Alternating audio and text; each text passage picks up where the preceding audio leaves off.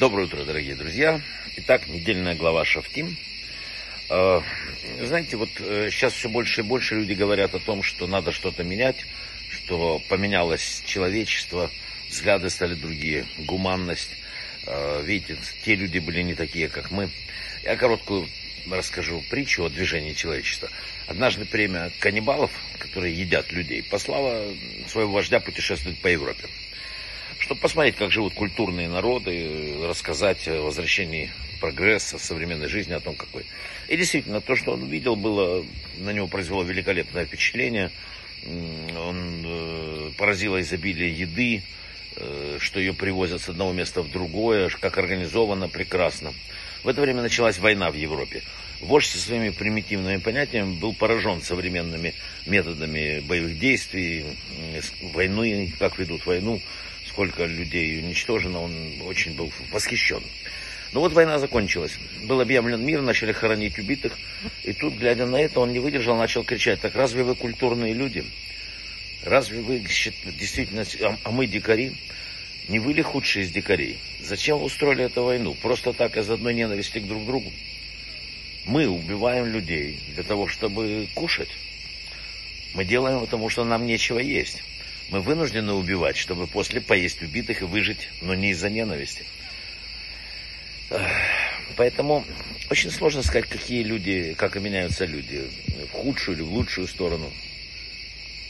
Нельзя полагаться на то, что с движением вот, э, по э, времени мы становимся лучше обязательно.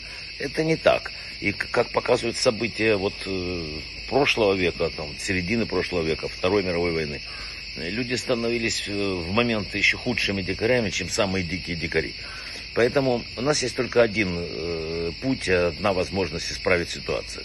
Человек должен понять, что либо он изменит себя, либо мир изменит его. Э, я сейчас расскажу еще короткую историю. В 2000 году в Вене должна была пройти очередная конференция э, Совета раввинов Европы. И вот они приняли решение вручить награду Симону Визенталю, известному охотнику за нацистом, который жил там.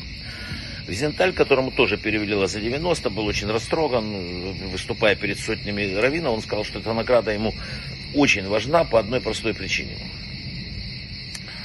Когда я был, рассказывал Визенталь в лагере Бухенвальд, после изнурительного труда возвращался с сотнями заключенных и узников бара, где проводились ночь на нарах. И э, был один заключенный, которому удалось пронести молитвенник с собой. Это единственный молитвенник был на весь лагерь, и многие религиозные заключенные хотели попользоваться молитвенником, особенно в шаббат, там, в праздники. Для них это было единственное средство поднять свой дух, излить сердце перед Творцом, ну, спрятаться как-то от этого ужаса. И вот человек, которому принадлежал молитвенник, он решил не упускать ситуации, чтобы улучшить свою э, жизнь в лагере, и стал давать его за кусочек маленьких хлеба. А лагерная пайка, она была малюсенькая, и поэтому, конечно, это было э, совсем плохо. И так на протяжении долгого времени узники были согласны делиться своим скудным пайком за право пользования молитвенником. И э, Визенталь сказал, дал себе слово, что я никогда в жизни больше не зайду в синагогу. И когда концлагерь освободили, открыли сразу синагогу, в состав союзной армии входил, кстати, военный раввин э, американский, Элезер Сильвестр. Он открыл синагогу, пригласил Визенталя, то сказал, что я не пойду.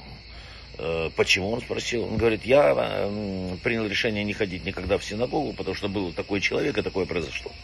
И, Визенталь, и Равин ему сказал потрясающие слова. Я не понимаю твоего решения не ходить в синагогу.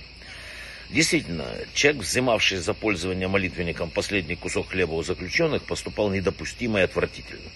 Однако вместо того, чтобы смотреть на этот поступок хозяина молитвенника, почему бы тебе не посмотреть на величие духа десятков заключенных, готовых пожертвовать последним куском хлеба только для того, чтобы удостоиться подержать в своих руках молитвенников несколько минут. И Визенталь говорит, слова его на меня произвели такое ошеломляющее впечатление, что я просто поменял свою ситуацию. А, Визенталь, э, э, если внимательно читаемся, вчитаемся в сказанное Торой в недельной главе, что мы всегда говорим, что там говорится о правом и левом.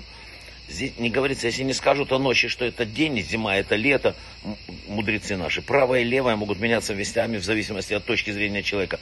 Нередко мы смотрим на вещи с субъективной точки зрения, не замечаем ошибочности своих взглядов. Иногда для того, чтобы взглянуть на вещи объективно, нужно поменять перспективу. Нам кажется, что вот это черное, оно на самом деле не такое черное, как кажется. Нам кажется, это белое, оно не такое белое, как кажется. Надо быть гибким, как тростник, потому что этот мир не предназначен для вот такого твердого «я», там, мое «я» выше всего. Удача этого мира и его беды существуют для того, чтобы человек был испытан определенной долей испытаний, которые высшая мудрость посчитала подходящим для данного человека. И надо именно так это смотреть, а не искать виновных во всем, что происходит. У каждого человека есть свое предназначение исправить что-нибудь в этом мире. Мир нуждается в каждом человеке. Но в человеке, который видит мир хорошим взглядом, добрым, в любой ситуации. Брахавецлаха.